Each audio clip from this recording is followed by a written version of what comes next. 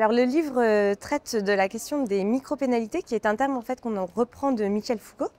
Euh, c'est un terme qui désigne en fait euh, toutes les pratiques punitives infraordinaires. On ne parle pas ici du droit de punir, voilà, matérialisé par le palais de justice, la, sentence judiciaire, mais au contraire tout ce qui se passe dans des lieux d'enfermement, d'assistance, de coercition, d'éducation, où des punisseurs punissent, dépunissent.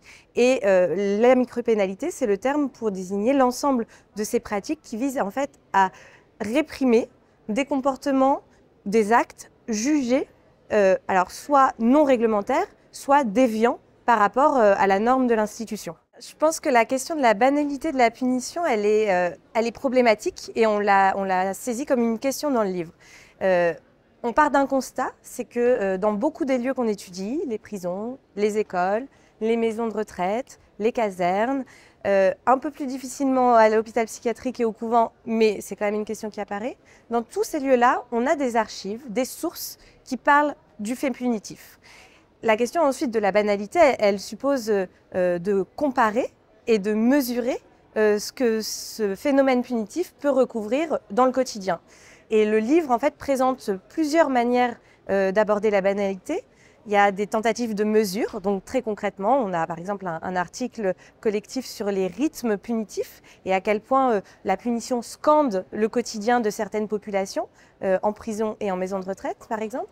Et on a d'autres articles qui évoquent par exemple la question des mémoires punitives et à quel point euh, le, fait punitif reste marquant dans des trajectoires punitives. Donc la banalité, en fait, elle est toujours une question et notre manière de l'approcher, c'est la comparaison et surtout l'analyse située dans des configurations particulières disciplinaires.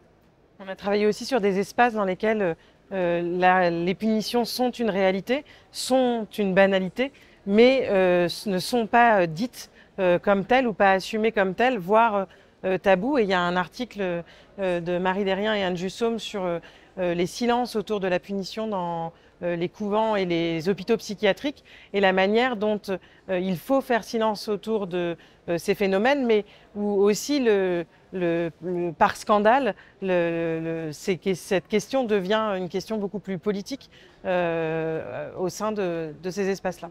Il y a beaucoup d'archives, il y a les archives très bavardes de la punition. Hein.